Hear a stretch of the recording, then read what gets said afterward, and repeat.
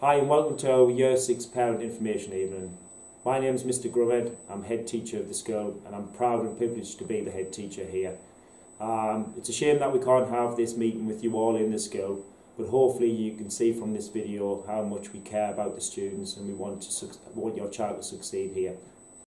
Over the last 18 months there has been significant improvements within the school. We have a real strong leadership team.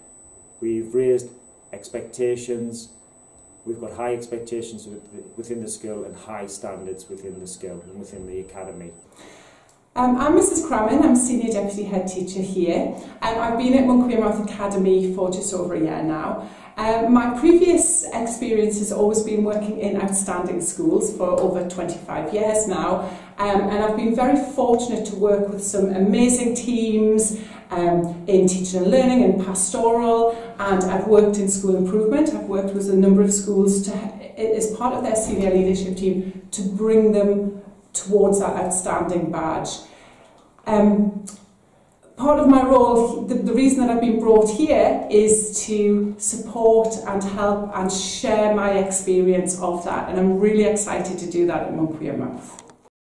We've also introduced a brand new curriculum within the school.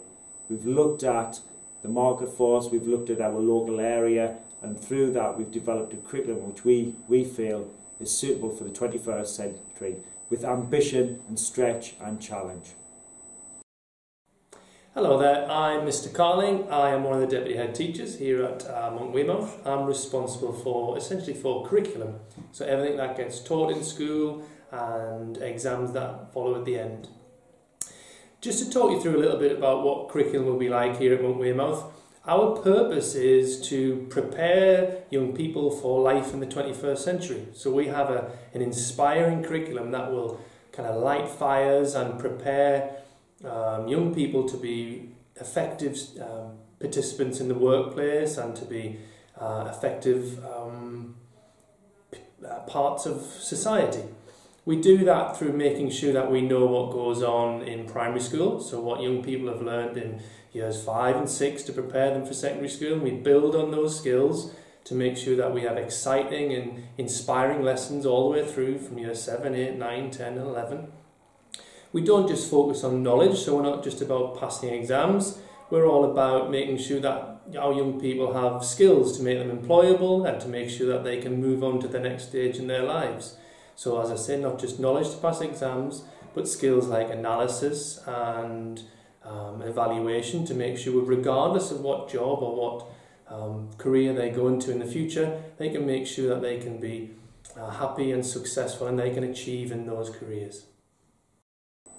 So what is different? Well, by raising standards, firstly, we've ratcheted up in terms of our expectations with regards to behaviour.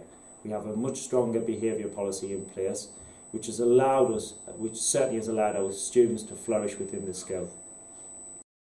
We also have a house system. The house system brings us together stronger as a community. And with, with us having a stronger community, we can work closely with our students Here at Wearmouth Academy, we have numerous opportunities which develop us as students. The Student Council is one of those opportunities where students' voices can be heard and shared with teachers. Us as student councillors have made many important decisions and if you become one, you get to make them too. In the school council meetings, we all voice our opinions and if we decide that we don't like something, we try to come up with a conclusion and how we can fix that. We have changed many things in the school such as our one-way systems, our uniform, and a lot of us have been on mental health courses to help little students around the school. Hi, I'm Mr Graham and I'm one of the assistant heads at Wearmouth School and I'll be looking after your child in terms of pastoral care. Pastoral care at Wearmouth has always been a strength and it continues to be a strength. We've changed our team, developed the system and on top of having excellent tutors who've always been keen to make sure that there's effective communication and instant support every morning, we've moved towards a house system. The house system is there to try and give everybody a continued care. where we can include students, all of their brothers and sisters within that one house. So the care and the level of communication between parent and school is so much better, so much more effective, and also so much more caring. We want to make sure that your child feels safe, secure, and always happy in order to be able to go on and achieve. We encourage students to kind of support each other We have a range of peer mentors and other support groups. We have mental health ambassadors and we also got mental health first aid students. One of the things we have improved is feeling more safe in school. We've now introduced a one-way system around the schools so the corridors aren't as crowded.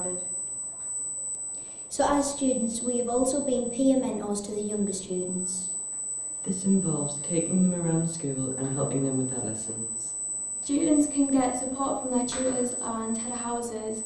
You see your tutor every day. There are many staff around the school with green lanyards. This means you can talk to them about mental health. As well as teachers, there are also a few students who did the course in mental health, so you can always ask your teacher and who they are and come to them for help if you don't want to speak to a teacher. We have a strong team within teaching and learning. We have a CPD program, NEEKS with regards to our teachers, and also we have that program, that calendar program of support for our teachers as well. We all Teaching and learning has been a primary focus for change.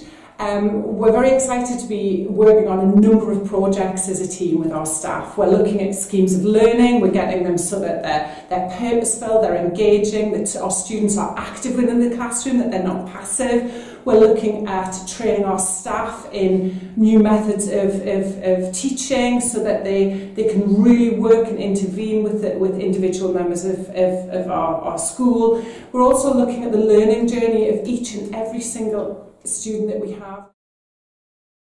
As a student council, we actually got the opportunity to take new teachers around the school and voice our opinions on who we wanted to be our teachers the next year. In lessons, we have the opportunity to work in groups with people who we wouldn't usually work with. And the interaction between teachers and students is brilliant and you can build up a really good friendship with your teacher. As a school, I firmly believe we are inclusive and we care about our students. And that's evident again with us having a transition programme through the, the COVID period and also our summer school, which was a great success for years 7, 8 and 9. We had a lot of students who attended our summer camps. To make sure that your child feels comfortable making that huge step up, we have a really, really effective transition programme. In fact, we were probably the most successful transition programme last year. We were the only school in Sunderland to run any face-to-face transition for all of our feeders and our non-feeder schools, running well over seven, eight weeks worth of transition, bringing every student in from every primary school so they all had the opportunity to meet staff, take part in lessons and make sure that they were full, fully aware of who was there to support them. As well as that, we also put in an extensive summer school. The well-being of our students is paramount. We hadn't seen our students for such a long period because of the COVID situation. So to ensure that students felt comfortable coming back, we put on a full well-being programme throughout the six weeks holiday. For three weeks away in our school, working with our staff for years 7, 8 and 9, and then we continued working with our partners in the community. We work really closely with Friends of Fulwell and North East Sport to make sure that there's support there in all kinds. We've recently redeveloped our partnerships with Sunderland Mind because we feel well-being, mental health, emotional well-being is top priority to make sure that students feel comfortable in these troubling times. Our motto is believe, achieve, succeed. We want every student to believe in themselves and develop that resilience. And from day one, we instill that into our students. Our students have flourished, and results last year is evidence of students believing in themselves, and through that belief, they'll achieve and succeed. And succeed doesn't mean that all students go on to get grade nines, they succeed to go on to whichever path they want to go into. We, we 100% believe in our students. We want them to achieve the very best results that they possibly can in order to succeed, not just in their exams, but in life. Thanks for taking your time and showing that interest in Wearmouth Academy. If you have any further questions, then please get in touch. We're always here to help, support, guide, give advice. We would love to see you and we'd love to see your child join the school. Thank you. There is so much more aspects to our school which make it a fantastic school to go to. We hope you enjoyed our video and we hope to see you all very soon. Bye!